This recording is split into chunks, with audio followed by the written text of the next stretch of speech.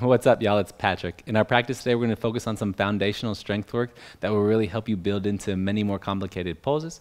Uh, so, if you have a block handy, a yoga block, that would be great to have. But really, anything in this sort of shape that has some weight to it is all you really need. So, um, to start out, you can find any seat that you want where you feel comfortable. And again, maybe you even have an extra block that you sit on uh, to help your hips feel nice and comfortable in their position, your feet as well.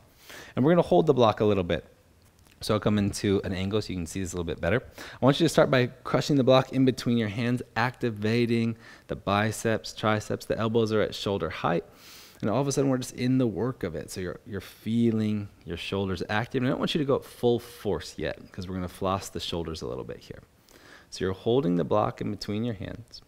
And then all I want you to do is pull the elbows towards the chest, drop the shoulders down, push the elbows away, lift the shoulders up, pull the shoulders back, pull the shoulders down, push the shoulders forward, lift the shoulders up, pull the shoulders back, lower the shoulders down, push the shoulders forward, lift the shoulders up. Reverse that course of action. Lower shoulders down, pull shoulders back, lift shoulders up, push them forward, lower down, pull back, lift up, push forward, lower down, pull back, lift up, push forward. Last time, lower down, pull back, lift up, push to neutral, release. Set the block off to the side for a moment. We're going to come right back to it in a second. Um, lean forward for a moment, tuck the toes, sit back to the heels. So you have a little bit of a springy nature. Hopefully, you can open up the bottoms of the feet here a little bit. Find the nice curve in the lower back. Feel that you're tilting the hips just subtly forward. And then relocate your block. We're going to do the same action except for with the arms extended out in front of you. So, reach the arms forward, push into the palms. And then from here, lift the chest slightly, pull the shoulders back lift up, push the shoulders forward, lower down, pull back, lift up, push forward, pull down, pull back, lift up, push forward, lower down, pull back, lift up, push forward, lower down.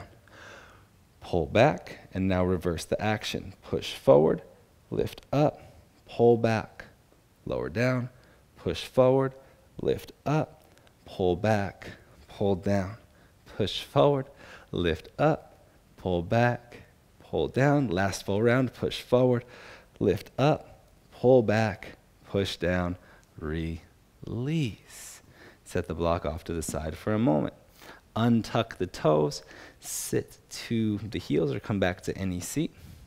Hopefully, the shoulders are feeling really good here, setting them up nicely for some of the foundational work that we will do. And then one more thing here with the block in this variation. Put the block in between your hands. This time, just take it up to the sky. And I want you to think about activating everything. So squeeze the block in as much as possible. Wrap the triceps towards the face and lift the fingers up a little bit more. See if you can lengthen the lower belly. Really try to not sit back in your seat. Feel as though you're sitting forward. You're sitting with your best possible posture and you're crushing this block above your head. Stay active here for 15, 14, crush the block, 13, 12, wrap the triceps towards the face, 11, 10, 9, 8, 7, 6, 5, 4, 3, 2, 1. Release. Oh, nice job. This stuff is really tough. And again, the heavier this item is, so if you have a, a cork block or a wood block, it is a tough journey. The next thing we're going to do is take the block, put it in between our legs in downward facing dog. So I'd recommend this more narrow width. You go the middle width, definitely don't go the wide width, right? So um, know that your hips, no matter what, are just not that wide, I promise you. Squeeze the block in between your legs and then push your hips up and back and really feel the legs turning on here. See if this helps you decompress the lower back a little bit and just feel your ability to crush the block. Find a good bit of strength there, a good bit of lift, good bit of breathing, really. but keep working the legs. I want you to feel as if you're trying to, you know, break the block in half with the strength of your legs. Like everything is hugging to the middle. You have that much power there. And notice how that really activates everything else. So not only do you maybe feel the inner legs working, but you feel the outer legs working to hug in. The arms are a bit more engaged. The spine is a bit longer. The hips are a bit more part of the process. And maybe your hamstrings are even a bit more turned on. Holding here for 10, 9, 8, 7, 6, five, four, three, two. On one, keep everything the same in the legs, but begin to walk the hands back towards the toes. Stay on the tips of the toes. Find chair pose with your heels lifted as soon as possible. All of a sudden, you are really in the legs and flirt with the balance a bit there as you stand up. Reach through the fingers. Keep hugging the block with all your might. You should feel more pressure in the big toe mounds and in the big toes. Hopefully, that helps you open up the lungs a little bit. You can breathe a little bit deeper there. So, breathe with a bit more effort, with a bit more energy, with a bit more ferocity, if you will. And then slowly sit down towards the heels, but you won't get all the way there. Just try and rise onto the toes a little bit more. It's like the heels and the hips are trying to meet, but it's just not going to happen yet. Hold here. Trust yourself. Do the work. Create the connection. Find your foundation. Drop the heels. Fold over the legs. Keep the legs bent. And then begin to straighten the legs a little bit. Remove the gripping of the toes and push the hamstrings back in space, so the femurs back into the hamstrings, if that makes more sense to you. But feel a lifting through the inner arches of the feet. Drive the hips away. Melt over the legs. Keep hugging everything. Middle feels if you're pushing a block towards the space behind you. And then from here, bring your hands onto your shins. Lift halfway up. Let opposite hand catch opposite elbow. Lean out just a touch.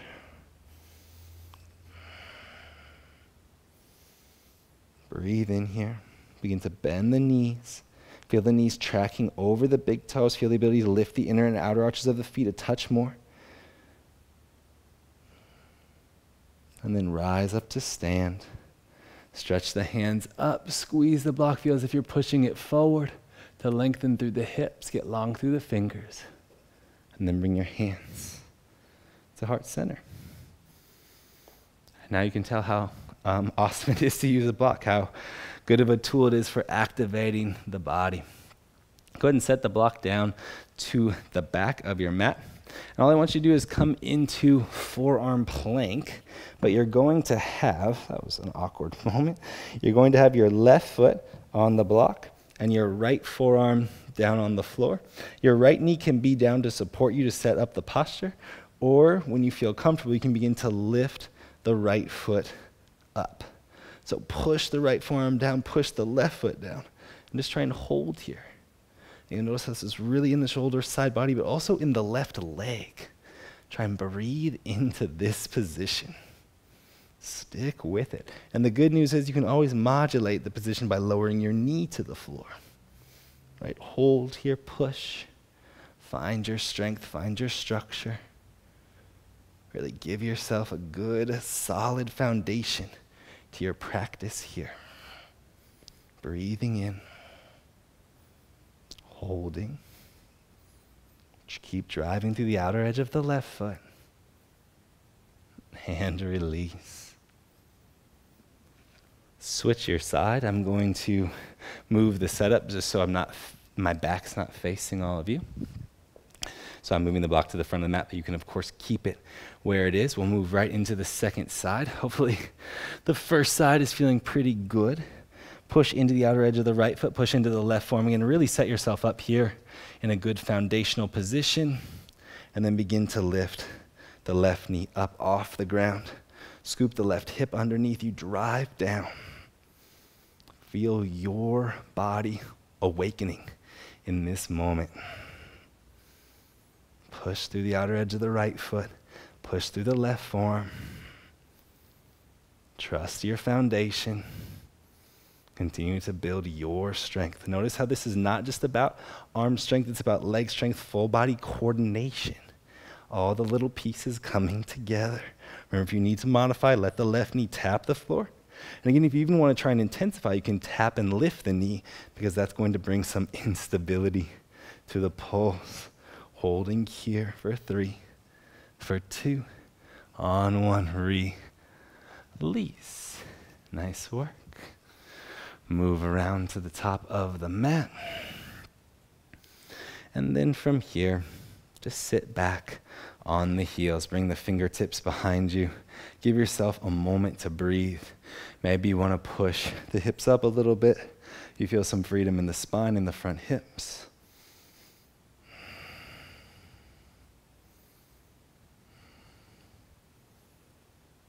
And release. All right. We're going to start with the block underneath the right hand, and you'll be in plank pose. So, find your plank pose, block underneath the right hand, and push through both arms equally so you are off kilter. Okay? Left shoulder should be lower, right shoulder should be higher, unless, of course, you had a big discrepancy in your arm length. Push into your right hand, and then roll onto the outer edge of the right foot, side plank. Keep pushing into the right hand. I want you to really grip the block with the thumb and the pinky finger. Stretch through the left hand, lift the hips a little bit higher.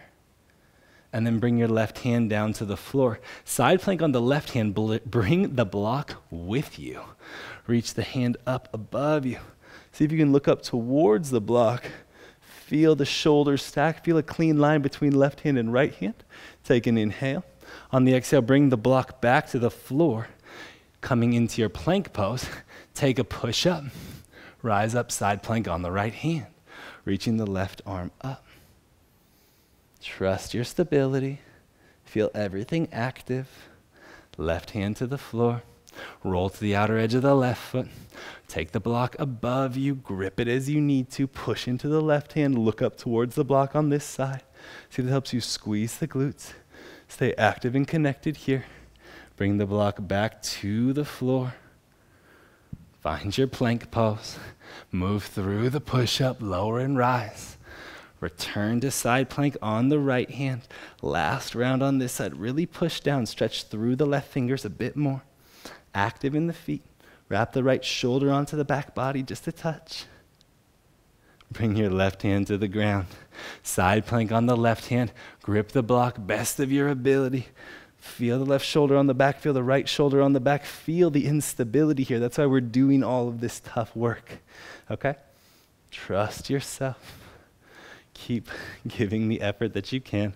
Bring the block back to the ground. Find your plank pose. Lower to chaturanga in five, four, three, two, one. Rise back up. Five, four, three, two, one. Lower the knees down. Nice job. Switch your side. Block goes to the left. Take two breaths to prepare yourself. Inhale and exhale. Inhale and exhale. All right, same exact work. Set yourself up in plank pose, full push through both hands so your shoulders should feel off kilter. You should feel as though you maybe are leaning into the right hand a little bit right now. Begin to push into the left hand more. Stack the feet, side plank. Right arm reaches up, push through the left hand. Create action in the left arm. Play the feet to help you find stability. One more inhale here. On the exhale, right hand to the floor side plank on the right hand. Take the block up to the ceiling. And just like we did on the other side, look up. Look up towards the block. Push into your right hand. Trust the gripping of the fingers, the activity of the shoulder, and then bring the block back down to the floor. As it lands, take the push up, lower, and rise. Push into the left hand side plank. Reach the right arm all the way up, stretch through the fingers. Get a little bit longer there. Feel the right shoulder on the back body. On your exhale, right hand to floor. Push into the right hand, stack the shoulder on top of the wrist, take the block up to the ceiling. Try and have the block on top of the left shoulder, left shoulder on top of right shoulder, right shoulder on top of right wrist. All of this is available to you. Stick with your breathing. Bring the block back to the floor. Take your push up lower and rise. And what this is all teaching you as you go for the last round, side plank on the left hand, is your ability to resist gravity, also your ability to endure, your ability to build specific strength to help you perform many different movements. Stay with it here. Push into the left hand. Bring your right hand down to the ground. Let it land. Roll to the outer edge of the right foot. Take the block with you. Feel the ability to not only drive through the right hand, but the ability to squeeze your side waist. Use your legs to support you. Look up towards the block. Try and point your nose towards the base of your knuckles. And then bring the block back down to the floor, which can be one of the hardest parts of all of this to not drop it. And then lower through your push up for five, four, three, two, one, and rise up. Five, four, three, two, one. Lower the knees down. Excellent work, everybody. Set the block to the mid height. You can keep the hands on the block, inch the hips back in space, drop the chest down, stretch out just a little bit here, dropping the forehead down. Breathing in just a little bit easier. Letting yourself recover for a moment. We have two more little tasks, and then we'll actually finish in this position. Feels nice. Breathe some energy through the back line of the body. Actually, I just changed my mind. We'll finish in a different position. But that's neither here nor there. Set the block up towards the top of the mat. Place your hands down and find your downward facing dog. Lift the hips up a little bit higher. You should feel nice in this down dog. Remember how we were holding the block earlier? Now you can just imagine you're holding the block and just lengthen the back body out quite a bit. Push into your hands a little bit more. Lift heels, bend knees. On your exhale, step or float feet to outside of hands for active squat. As you find your active squat, locate the block, bring it with you, hold it in the hands. Sit the hips a little bit lower. Tilt the hips a little bit forward. Exhale, straighten legs, block to heart center. Reach the block up towards the ceiling, stretch up through the fingers. Exhale, sit back down, block to heart center. Lean the chest into the block, lengthen the lower back. Holding here, pull the knees apart, crush the block with the hands for 10, 9, 8, 7, 6, 5, 4, 3, 2. On one, set the block off to the side, place the hands down. Your vinyasa will meet back in down dog hopefully these push ups feel really nice, really available after all the preparatory work that we've done. One more round of this awakening A with the block. If you need to set the block towards the middle of the mat, feel free. Push into the hands, lift heels, bend knees, longest possible spine. Step or float feet to outside of hands. Land as gracefully as possible. Whether you're stepping or floating, locate the block, crush it, Pull the knees apart, sit the hips a little bit lower. Exhale, straighten legs, hands to heart.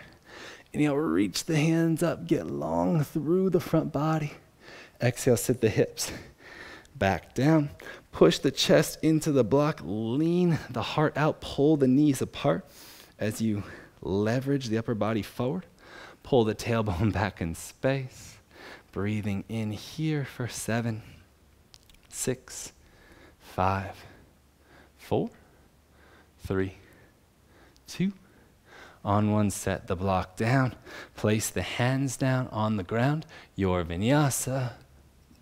Find lightness in the movement. Again, which is so relative, but it's a mindset. So always coming into the sense of fluidity, the sense of energy, currency flowing through the body. And that's where that thought is. It's not a thought of strength, it's really a thought of flow. We're going to take two awakening bees with the block, and that's going to finish us off. So, inhale, lift the right leg up. On the exhale, right foot to right thumb. Locate the block, double, bent leg lunge. Exhale, straighten through the left leg. Bring the block to heart center, lean out. Bent leg, warrior three. Exhale, straighten through the right leg. Bend the right knee, set the left foot down towards the back of the mat. Block the base of skull, look up. Inhale, reach the hands away. Open the heart. Exhale, block to floor. Hands land. Three legged dog. The right leg lifts. Pull the body through into your upward facing dog. Exhale, roll back downward. Facing dog, left leg lifts. Left foot scoots up to the left thumb. Locate the block, double bent leg lunge. Exhale, straighten through the right leg to the best of your ability. Bring the block to heart center, lean out. Crouching warrior, lift through the right leg. Exhale, straighten the left leg. Bend the left knee. Toes go to the ground, back edge of mat. Block to base of skull.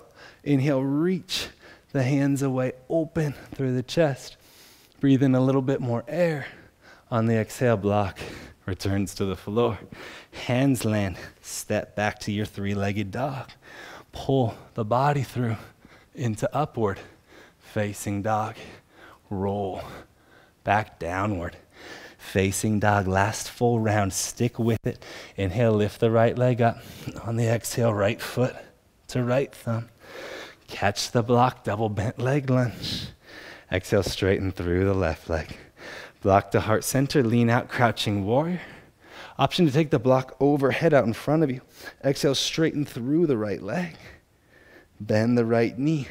Land the left foot at the edge of the mat. Thumbs the base of skull. Inhale, reach the hands away. Open the heart. Exhale, block to floor. Hands to floor. Three legged dog. Pull the right foot back in space. Inhale, open the body through into your upward facing dog. Exhale, roll back downward. Facing dog, last round here. Inhale, the left leg lifts. On the exhale, left foot to left thumb. Locate the block, find your double bent leg lunge. Exhale, straighten through the right leg. Block the heart center, lean out. Crouching warrior. Option to take the block out in front of you. Exhale, straighten through the left leg. Bend the left knee, right foot journeys to the edge of the mat, block to base of skull. Inhale, reach the hands away. Open through the chest, get long, get more lifted. On your exhale, block to the floor, hands to the floor. Left leg lifts. Pull the body through into your upward facing dog. And on your exhale, downward facing dog. Lower the knees to the floor. Sit to the heels. Take a moment, long spine, shoulders on back body. Breathe. That can be so intense. And even this short class, right, all of a sudden, you're really picking up a ton of energy, picking up a ton of strength, a ton of coordination. And the mind is really turning on. And that's the goal of our practices.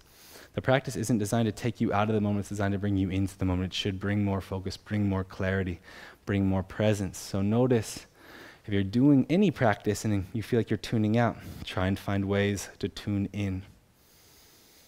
Feel free to stay in the seat to close the journey. Or if you want, you've used the block in many challenging ways during this practice, maybe the nicest thing to do is lay on the back, set the block by the shoulders, to support you, middle height, lowest height, and allow a subtle lift and opening through the chest. Either way you choose to close, it's perfect. Take your time there. Breathe nice and easy. Be nice and steady. And As always, thank you so much for joining me for these practices. I hope to share space with you again soon. Have an amazing rest of your day. Peace.